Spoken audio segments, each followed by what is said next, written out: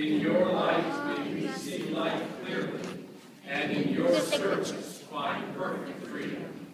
Through Jesus Christ our Lord.